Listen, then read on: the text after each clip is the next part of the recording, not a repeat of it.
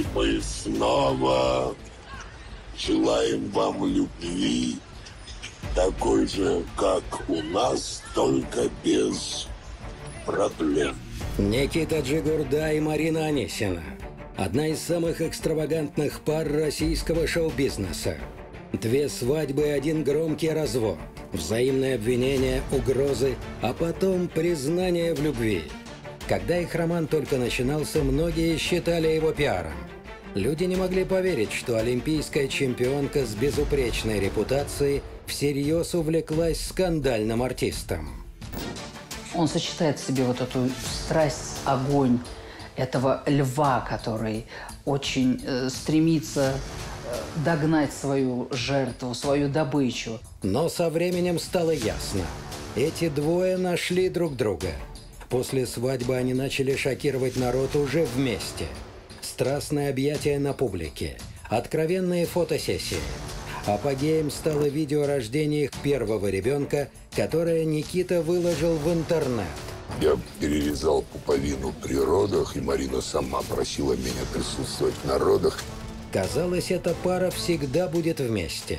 Но спустя 8 лет они неожиданно объявили о разводе. Любая женщина не выдержит, когда рядом с тобой неуравновешенный психический человек. Расставание бывших возлюбленных стало таким же бурным и страстным, как и вся их семейная жизнь. Марина обвинила Никиту в неадекватности и рукоприкладстве. Он ее взял вот так вот за волосы и сказал, ну, что, подумала, что мне от тебя что-то другое нужно. Мне, говорит, только твои регалии нужны были. Джигурда в ответ заявил, что у жены проблемы с алкоголем. Огромное количество, открою я вам, секрета. Бракоразводный процесс совпал с громким делом о смерти Людмилы Браташ. Несколько лет Джигурда пытался доказать, что завещание бизнес-вумен не подделка, и убедить ее родственницу, что он не причастен к гибели Людмилы. И кем ты играешь? Кто твоя Я перед миром космос. Трудности вновь сплотили бывших супругов. Актер признался, что никогда не переставал любить фигуристку. Правда, это не мешало ему проводить время в компании других женщин. Мне разрешают тискать девчонок-женщин, которые не против потантрить со мной. В сети постоянно появлялись компрометирующие видео с участием Никиты. И даже вторая свадьба не изменила поведение артиста. Марина говорила, что доверяет мужу, поэтому не ревнует. Но недавно одна из подруг Джигурды открыто заявила, что их связывают романтические отношения. Неужели артист действительно изменяет Анисиной? И с кем он страстно целовался в московском ресторане? Чего началась история любви Никиты Джигурды и Марины Анисиной? Правда, что ради фигуристки актер ушел от беременной жены? И как он испугал Анисину в их первую ночь вместе? Из-за чего мама спортсменки была против романа дочери с Джигурдой? Зачем Никита выложил в интернет видео рождения своего сына? И действительно ли Марина не знала об этом поступке мужа?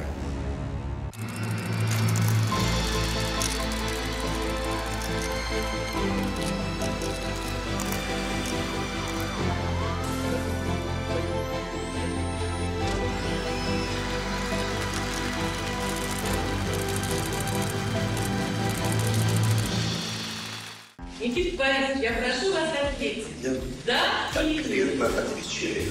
Да, есть. Эти кадры с первой свадьбы Никиты Джигурды и Марины Анисиной.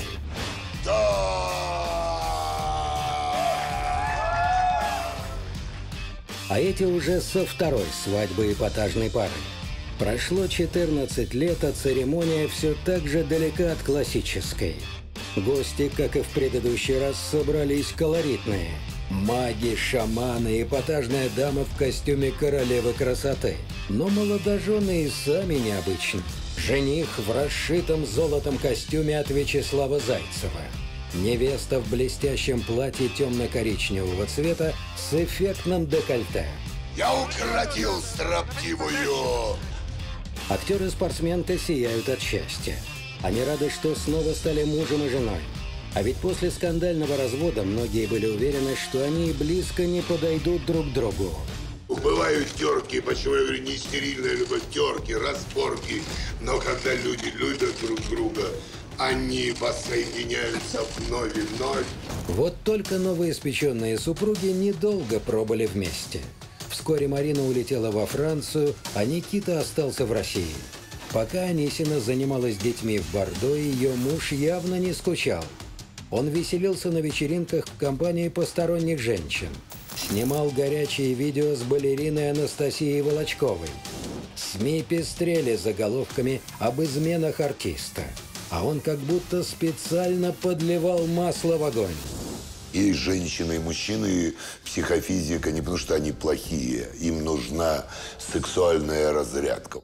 Когда сидишь с Никитой Борисовичем, тебя просто прошибает все до нижней чакры. Это серьезно, потому что у него такая харизма, он такой брутальный мужик, о котором мечтает каждая женщина. Одна из подруг артиста решила дать интервью, где рассказала о свиданиях с Никитой. Когда мы увидели друг друга, мы начали общаться, и была такая очень приятная между нами энергия, и мы обменялись телефонами. Прекрасно понимаю, какой эпатажный, красивый, брутальный, харизмати- харизматичный Никита, и понимаю, какая конкуренция, и что вокруг него всегда девушки. А, Ну, скажем так, я в себе уверена. Начинающая певица Ирен Волынская уже несколько раз была замечена рядом с Джигурдой. Вот, например, они, ничуть не стесняясь, ужинают вместе в ресторане. Актер вручил блондинке красные розы. Они обнимаются и целуются. Тащусь от богини Рены, Ренушка, девочка моя. Давай мы с тобой на брудершафт. Какие отношения связывают Никиту с молодой блондинкой? Был ли у него роман с Анастасией Волочковой? И почему Джигурда не хочет переезжать к семье во Францию? На взгляд психотерапевта, эта пара не имеет права на существование вообще. То есть это прямо противоположные. Ангел и бес, э, не знаю, красавица и чудовище, э, лед и пламень. Их история началась на съемках одного телешоу. Марине предстояло научить Никиту кататься на коньках. Джигурда вспоминает. Сразу почувствовал ту самую химию и решил во что бы то ни стало покорить рыжеволосую красотку. В первый же день я сделал ей предложение. Я сказал, что хочу, чтобы ты стала моей женой. И родила мне такую же зеленоглазую богиню. Анисина ответила, смеясь, я хочу первого мальчика. Я забили, будет первый мальчик. Бог любви, вторая девочка, богиня. То, что его супруга Яна Павелковская в тот момент ждала их второго ребенка, мужчину не остановило. К тому же в браке уже давно назрел кризис. В итоге Никита ушел из семьи и начал завоевывать олимпийскую чемпионку. По словам друзей, он буквально атаковал Марину. Следовал за ней повсюду. Осыпал цветами и подарками. Что на самом деле случилось с Людмилой Браташ? Почему сестра бизнес-вумен обвинила в ее смерти Никиту? Действительно ли женщина оставила Джигурде и Анисиной многомиллионное наследство? Или завещание было подделкой? Как трагедия с Браташ разрушила брак актера и спортсменки? Кто настраивал Марину против супруга? И правда, что Джигурда гонялся за женой с ножом?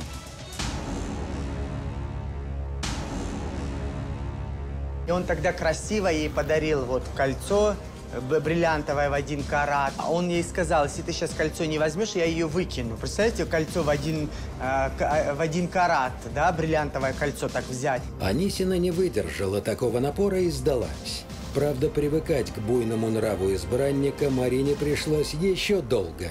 В первую же нашу, можно сказать, брачную ночь, ну, до свадьбы, то есть, когда я напугал ее, потому что я стал в любви. Я стал в любви, стал let light and love and... И глаза полные ужаса. Друзей Марины Анисиной ее роман с Джигурдой, мягко говоря, удивил. Артист был совершенно не похож на предыдущих ухажеров фигуристки. Одно время она была влюблена в хоккеиста Павла Буре. А потом внимание спортсменки добивался князь Монако Альбер. Но Марина, которая с юности живет во Франции, тихой, размеренной, правильной, столкнувшись вот с палитрой вот этого всего паноптикума, могла удивиться и ей было просто интересно. А он такой вот мужик мужиком, брутальность просто перла. Но больше всех была шокирована мать чемпионки. Она не хотела принимать экстравагантного зятя. Говорила, ты кто такой тогда, кто ты такой? Да, это ж знают. У моей дочки был роман с принцем Монако. Такие люди ей предложения, слышите? Я космический принц, я круче. Но Ирина Евгеньевна была уверена, что Джигурда принесет ее дочери одни неприятности и заставит страдать. Марина в тот момент еще не знала, что мама во многом окажется права. Через год после первой встречи на льду Джигурда и Анисина сыграли свадьбу. После официальной части отправились праздновать в подмосковный особняк подруги Никиты Людмилы Браташ. Молодоженые не догадывались, что через несколько лет хозяйка дома будет мертва, а Джигурду обвинят в ее убийстве – когда Марина сообщила, что беременна, Никита был счастлив. Артист решил запечатлеть момент прихода сына в этот мир и снял процесс родов на видео. А потом выложил ролик в интернет. Ему просто хорошо заплатили. Ну, надо просто понимать, что Никита таким образом зарабатывает деньги. В этом ничего плохого нету. Не все оценили этот порыв и осудили актера за излишнюю откровенность. Марина тогда лишь скромно улыбалась. Только спустя годы она признается, что до последнего момента не знала о поступке мужа. Он не спросил ее разрешения перед тем, как выставить роды на всеобщее обозрение. Никита профессиональный артист, он сам знает, что он делает, он я тут в этом абсолютно не советчик.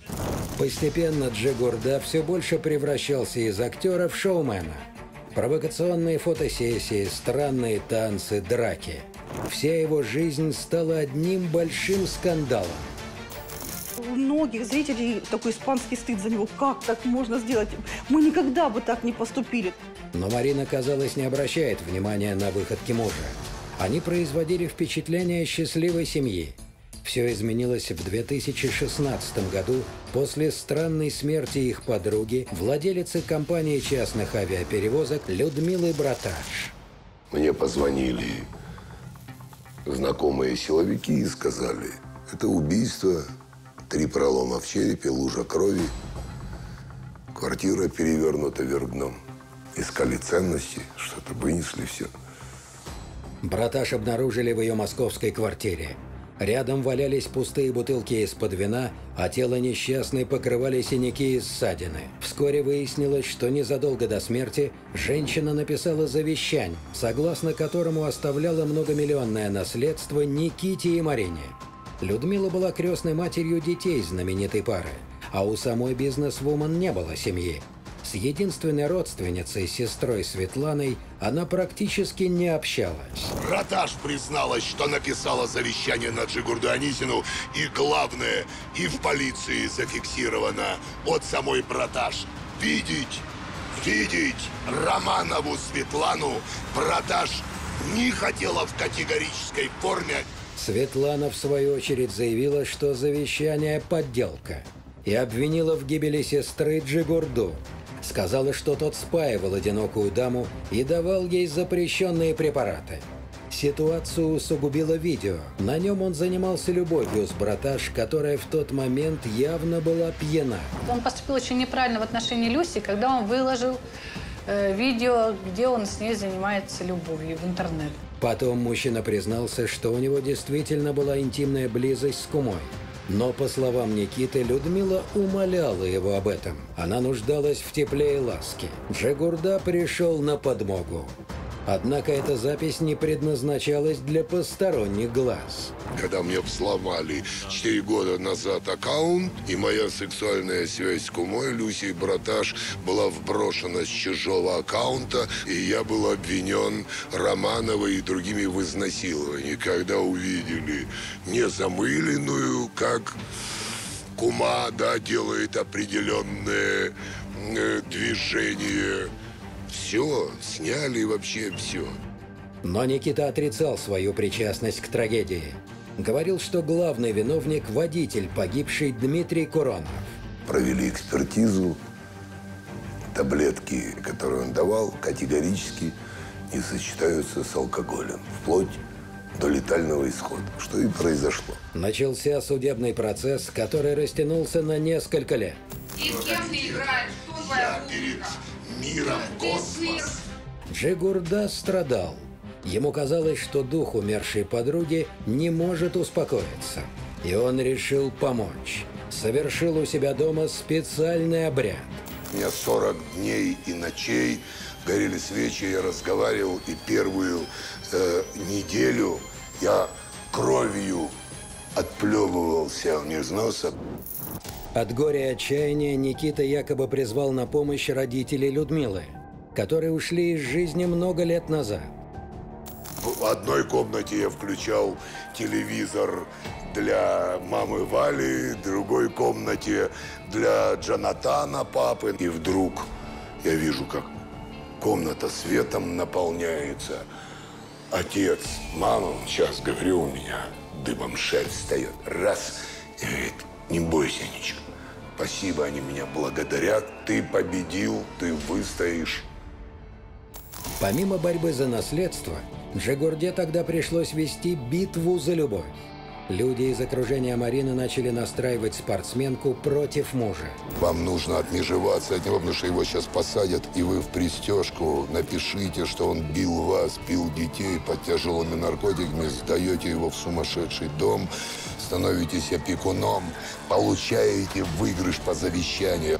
Анисина долго не поддавалась на уговоры, но затем ей стала поступать информация другого характера. Бывший директор артиста Антонина Саврасова якобы раскрыла спортсменке глаза на распутное поведение мужа. По секрету рассказывала, как тот устраивает в Москве оргии, пока Марина находится за границей. Когда женщина рядом, любые терки, любые там споры заканчивались ночной камасутрой, примирением, радостью. А когда на расстоянии и когда не только Антонина, ведь там и адвокат ее звонили и подтверждали то, что говорила Антонина. После сообщения об очередной измене Никиты Марина подала на развод. В интервью она призналась, что их совместная жизнь не была идеальной. В доме кипели итальянские страсти. И иногда женщина боялась своего темпераментного мужа. Он бегал за мной с ножом по квартире, махал ему меня перед глазами. Хотя он кричал «Не бойся, Анисина, если я кого и зарежу, то только себя». Но мне было очень страшно. Вдруг пырнет. Я склонна верить Марине. И, э, и тот случай, когда он ее ударил своей собственной головой в ресторане об ее голову, она в крови вся. А он говорит, случайно получилось, так вышло. Джигурда в ответ назвал Анисину алкоголичкой. Качестве подтверждения он опубликовал на своей странице видео Марины в состоянии опьянения. Любящие супруги в один момент превратились во врагов. Как Никита переживал развод и почему он оказался на больничной койке? Что за цели на самом деле преследовала Антонина Саврасова? И кто рассказал правду Марине? Почему после воссоединения супруги разъехались по разным странам? Как Джигурда развлекался в Москве без супруги? Был ли у него роман с Анастасией Волочковой?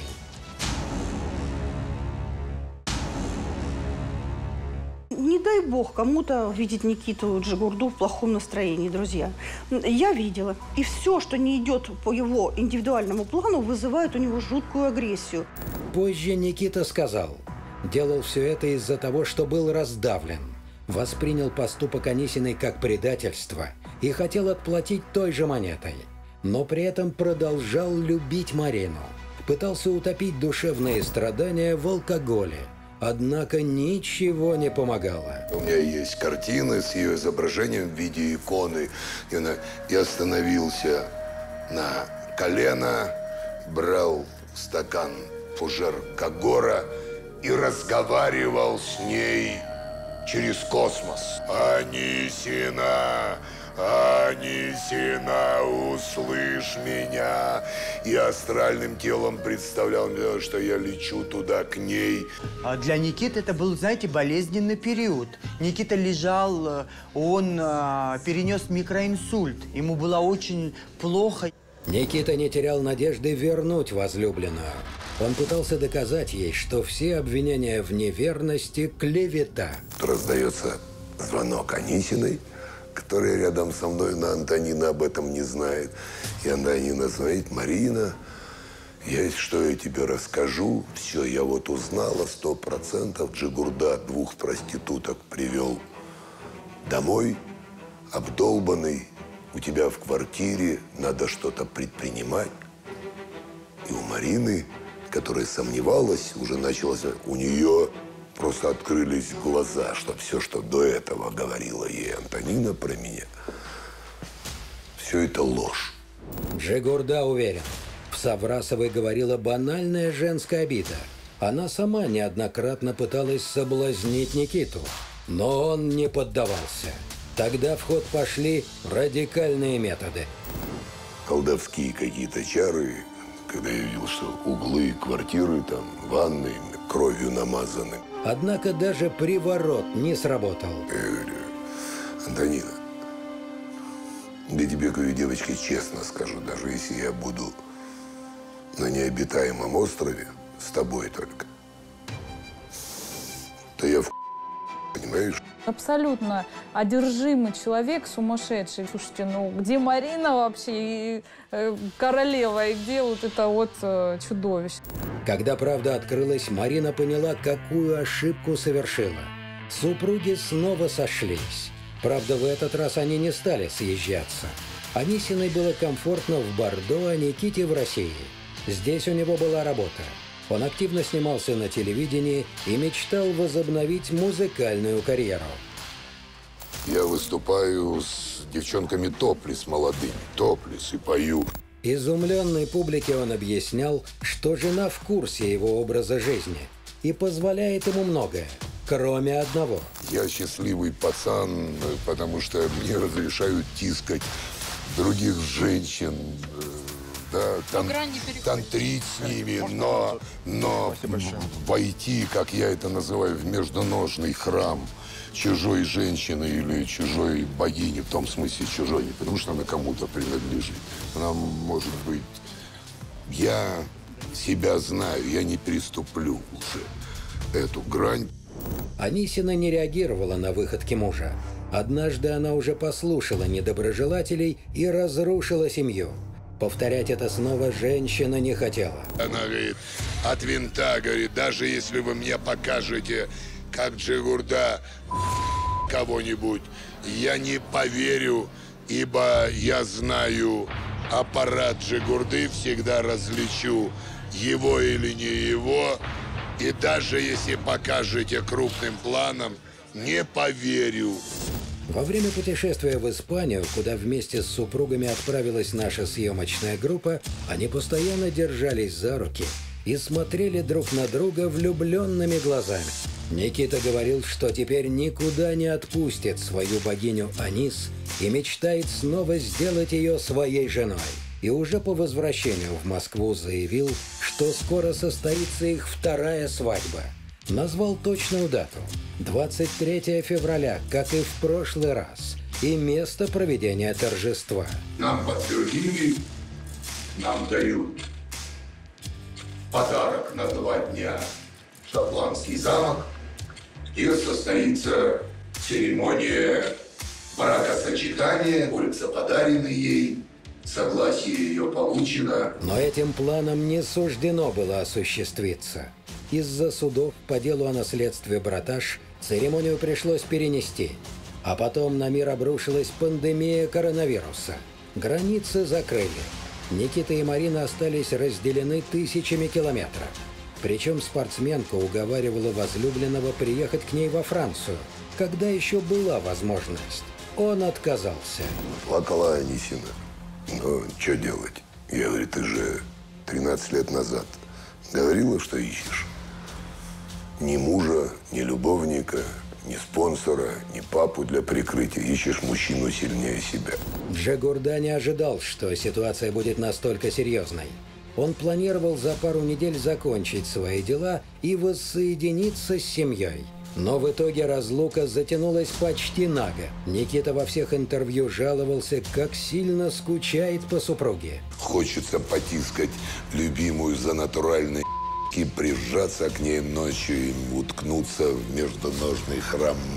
Тем временем в СМИ снова стали появляться статьи о его любовных похождениях. Особенно часто в этих материалах фигурировало имя балерины Анастасии Волочковой. Вскоре Джигурда уже открыто пел оды любви белокурой танцовщицы. Интернет заполонили пикантные видео с участием игривой парочки. Значит, сексуально так, что эта сексуальность зашкаливает. Джигурде явно нравилось находиться в центре внимания. Он все чаще появлялся в обществе в компании прекрасных дам. Хорошо, беру всех в свой ведический гарем, наложницами, кем угодно. Мы на все согласны. Вот, к примеру, образцовый муж и отец страстно целует певицу Милену Дейнегу.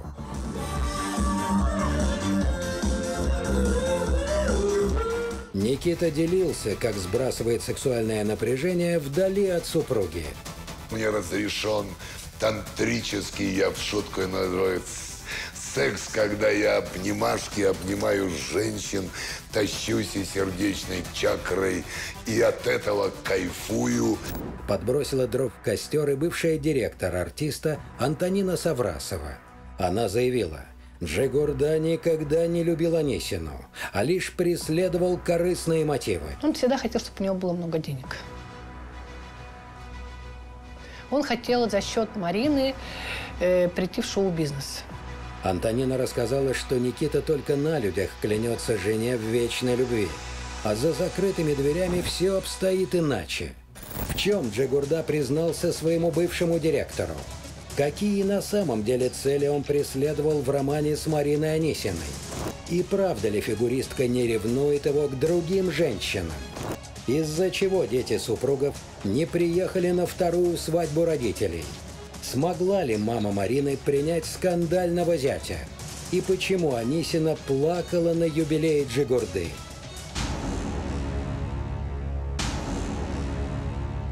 Он ее взял вот так вот за волосы и сказал, ну что, думала, что мне от тебя что-то другое нужно? Мне, говорит, только твои, э, мне говорит, только твои регалии нужны были. Актера слова Саврасовой возмутили. Он понял, что ситуация выходит из-под контроля и решил объясниться. Ответил, что все его интриги с красотками – игра. И с Волочковой его связывает исключительно дружба. Пусть и очень близкая. Мы доверяем друг другу с Настей и э, кругу и семейном, и близком, зная, что у нас чисто дружеские, платонические отношения, позволяем себе троллить э, публику, э, вызывая с чьей-то стороны негодование, поддерживая там имидж алкашей, сумасшедших, спившихся и так далее. По словам Никиты, у Марины хорошее чувство юмора, и она не ревнует его к балерине. К тому же, хоть физически Джигурда и находится в другой стране, у них с женой духовная связь, которую никто и ничто не разрушит. Мои оккультные практики позволяют мне передавать мою мужскую энергию на расстоянии. Никита очень часто и откровенно признавался, и мне лично, и при мне журналистам, что он умеет довести свою супругу до оргазма и за пределами, да, как меня все спрашивали, как вы вот. Он говорит, я там довожу ее до оргазма способами телепатии. Шоумен вновь анонсировал скорую свадьбу. И на этот раз он не обманул. Когда все коронавирусные ограничения были сняты, они с Мариной действительно поженились. Джигурда обещал, больше никаких поцелуев с другими женщинами. Исключительно легкий флер. Междуножный храм мамы захожу только к богине Анис. Всем другим гарантирована сердечная, сексуальная, горловая Никита. подкачка. Молодожены вели себя как юные влюбленные. Не отходили друг от друга ни на шаг. Буквально кричали о своих чувствах и о том, как сильно скучали. Вот, год воздержания и со стороны богини Анис, и с моей реально. Никита без стеснений посвящал присутствующих подробности долгожданной встречи. Она приехала, я по секрету скажу, это женский, я приехала три дня назад. Вообще, э, я ее три дня мучил. Три ночи мучил, не давал спать. Я соскучился, я устал. Единственное, что омрачало этот счастливый день – отсутствие рядом детей. Мик Анжель и Эва Влада остались во Франции с няней. У девочки закончился срок действия паспорта. А ждать перевыпуска Джигурда и Анисина были уже не в силах. Не посетила торжество и мама невесты. Новость о повторной свадьбе стала для женщины шоком. Я маме э, сообщила раньше, чем Никите. Все ей как бы изложила. Она мне говорит, ты с ума сошла. Ирина Евгеньевна так и не смогла справиться с эмоциями и поздравить молодых. Свадебного путешествия у Джигурды и Анисиной не было. Через несколько дней после церемонии Марина улетела обратно во Францию, а Никита остался в Москве. Он должен был ехать на очередное заседание по наследству Людмилы Браташ. Светлана Романовна никак не хотела сдаваться. Актер заявлял, что они с женой одержали победу и стали полноправными хозяевами квартиры в Париже. Но сестра погибшей была не согласна. Казалось, этот процесс не завершится никогда. В итоге суд встал на сторону Романовой. Светлане досталось имущество Людмилы в Москве и в Париже, а также ее многомиллионное состояние и коллекция ювелирных украшений. Джигурду результат не устроил. Уже подаю, уже адвокаты, уже все подали, уже затормозили все процессы. Все, что она получит, она не сможет это продать. Уже арест наложен на имущество. В следующий раз Марина и Никита увиделись через месяц, на юбилее артиста. По случаю своего 60-летия Джигурда закатил шумную вечеринку. Воздушные шары с черепами, портреты именинника, расставленные повсюду, зажигательные танцы и алкоголь рекой. На этом празднике жизни у гостей не было шансов заскучать ни на минуту.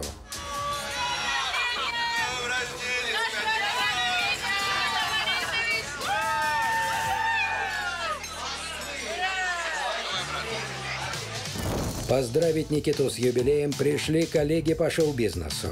Прохор Шаляпин, Наталья Штурм, критик Сергей Соседа. Приехала и балерина Анастасия Волочкова. Она вручила ему пикантный букет из красных перца. Мой хороший, я тебя обожаю, тебя люблю и дорожу нашей дружбой. Как мужчиной восхищаюсь, конечно, во всех смыслах этого слова. И благодарю всегда за поддержку. Никите подарили огромное количество подарков. Там были и картины, и были какие-то золотые э, принадлежности, по-моему, браслет какой-то золотой. Э, люди приносили огромные бутылки элитного спиртного. Джигурда веселился от души. Он отплясывал в компании волынщиков, подпевал цыганам и, конечно, обнимал прекрасных дам. Вот натуральные девчонки богини. Я свидетельствую. Священные девчонки. И даже позволял себе чуточку больше, чем обычно.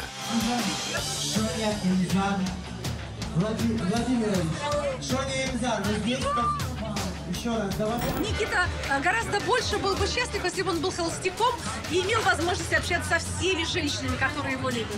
Пока супруг развлекался, Марина терпела боль. Они с Никитой договорились в знак любви друг к другу сделать парные татуировки. Набивать рисунки решили прямо во время праздника. Птица Феникс! Птица Феникс!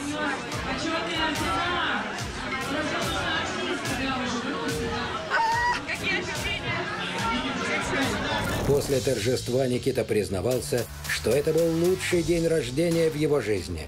Семья рядом. Что еще нужно для счастья? Джагурда показывал сыну и дочери Москву и надеялся, что они побудут здесь подольше. Но все хорошее рано или поздно кончается. Марина с детьми была вынуждена вернуться домой, в Бордо. Договорились, что скоро все вместе воссоединятся на отдыхе в Греции. Актер несколько лет назад приобрел там недвижимость. Но неожиданные обстоятельства помешали этим планам осуществиться. Недавно плакала, говорит, я задолбалась, ну, потому что отменилась Греция. Я, говорит, устала, Эва меня шантажирует. Семейный отпуск, которого Джигурда и Анисина ждали несколько месяцев, пришлось отменить. В Греции разбушевались лесные пожары. Никита тяжело переживал разлуку с любимой. Каждый день общался с ней по видеосвязи. Вечером видео, прошу Анисина, покажи, покажи грудь. Полюбуюсь.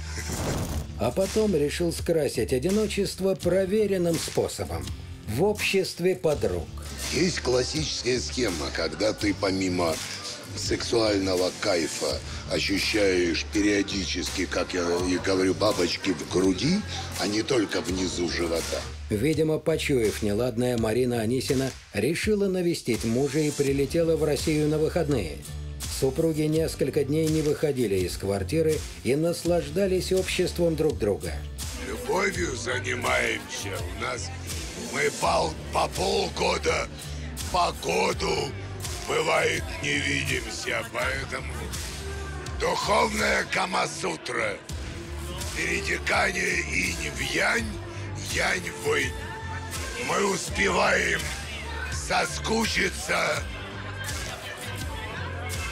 и каждый раз, как в первый раз. Но как только фигуристка вернулась во Францию, муж отправился на свидание с другой.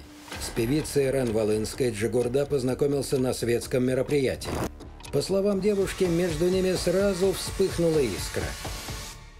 Когда мы увидели друг друга, мы начали общаться, и была такая очень приятная между нами энергия, и мы обменялись телефонами. Прекрасно понимаю, прекрасно понимаю, какой эпатажный, красивый, брутальный, харизматичный Никита, и понимаю, какая конкуренция, и что вокруг него всегда девушки. А, Ну, скажем так, я в себе уверена. Ирен льстила внимание знаменитого артиста. К тому же она понимала, что близкая дружба с Джигурдой может помочь ее карьере. Никита влиятельный человек в мире шоу-бизнеса, он во всем меня поддерживает. И назовем это конфетно-букетным периодом. А однозначно притяжение есть. Марина Анисина во Франции оказалась крайне недовольна слухами, которые до нее дошли. Она, конечно, доверяет мужу, но видеть, как он целует других женщин и заходит все дальше и дальше, ей уже надоело. Никита всерьез испугался. Ему не хотелось потерять семью из-за нескольких свиданий с начинающей певицей. Потому что они прошли вместе огонь и воду. А Марина приезжала, уезжала, Никита гонялся за ней туда, обратно, а, то во Францию, то из Франции. И вокруг них были вот эти ажиотажи, и шум, и репортеры. Но все это ничто по сравнению с силой любви Джигурды, которую он сохраняет по сегодняшний день. Шоумен в очередной раз заявил, что ему не нужен никто, кроме Марины. Поклялся больше не позволять себе такого поведения. Но пожаловался, что сдерживать горячую мужскую натуру становится все труднее. И попросил жену приезжать почаще. Анисина согласилась. Ведь именно за этот темперамент она его когда-то и полюбила. Супруги снова вместе, но зная их любовь к приключениям, поклонники не исключают вероятность очередного конфликта, а затем страстного примирения.